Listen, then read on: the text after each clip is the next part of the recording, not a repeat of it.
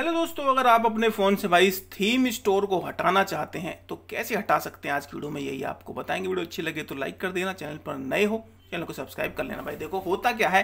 अब जैसे theme store है, बहुत से लोग इसको यूज़ नहीं करते, मैं भी ज़्यादा इसको यूज़ करता नहीं हूँ, ज़्यादा क्या मैंने करी नहीं है कभी यूज़ अगर भाई आप यूज़ नहीं कर रहे और आप इसको हटाना चाह रहे हो तो ये आराम से फ़ोन से हटती नहीं है, क्योंकि ये अनइंस्टॉल नहीं होती है। अब जैसे देखो यहाँ पे स्नैपचैट है, इसके ऊपर आप क्लिक करोगे, सीधा यहाँ पे इसको डिलीट करने का ये डब्बा आया था, आपको पता है यहाँ से डिलीट कर देते हैं, हो जाती है आराम से डिलीट अब इस पर क्लिक करोगे तो भाई डब्बा नहीं आता तो ये डिलीट नहीं होती। तो इसको डिलीट ना करके भी हम यहाँ से हटा सकते हैं, आपके फ़ोन से हट जाएगी, गायब हो जाएगी, दिखेगी नहीं।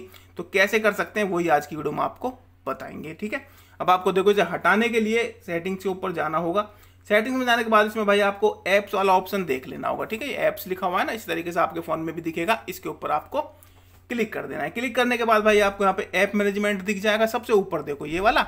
इसके ऊपर क्लिक कर देना। क्लिक करके अब यहाँ पर भाई आप उस थीम स्टोर को देख लेना, ठीक है? यहाँ पे आप करोगे ना, यहाँ पे सारी ऐप आ जाएँगी भाई आपकी। तो यहाँ पे आपको जब नीचे करते रहोगे तो इसी में आपको ढूंढ लेना है। आपको अपना यहाँ पे थीम वाला मिल जाएगा, ठीक है? जैसे करते हैं नीचे यहाँ पे, देखते हैं हमारे यहाँ पे कहाँ पर है। तो यहाँ पे देखिए, अब थोड़ा आराम से देखना होगा, क्योंकि भाई वो आँखों से ना छोटा छोटा होता है। तो यहाँ पे लिख देते हैं, देखो यहाँ पे लिखते क्या है? लिखने का वाला अलग होता है। पहले आप ढूंढ लेना, लिखने के चक्कर में क्यों पढ़ना है? आपको यहाँ पर, ये देखिए इसे करते हैं, ऊपर ऊपर ऊपर ऊपर करते रहते हैं। अभी देखो यहाँ पर आपको भी ऐसे ही ढूंढना है भाई, बड़े ही आराम आराम से। ये देखो भाई, अब की बार तो हमें मिलना चाहिए यार, ज़रूर। ये देखिए भाई थीम स्टोर आ चुका है ना, ये रहा यहाँ पे तो आपको इसके ऊपर क्लिक करना है। क्लिक करके भाई देखो, यहाँ पर आपको अनइंस्टॉल का नहीं मिलता, पर ये मिल जाता डिसेबल का, इसके ऊपर क्लिक कर देना है।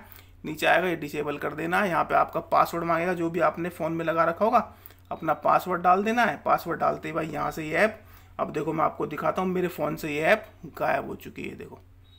आपको कहीं भी ये वाली ऐप नहीं दिखेगी तो ऐसे आप अपने फ़ोन से भाई इसको हटा सकते हैं।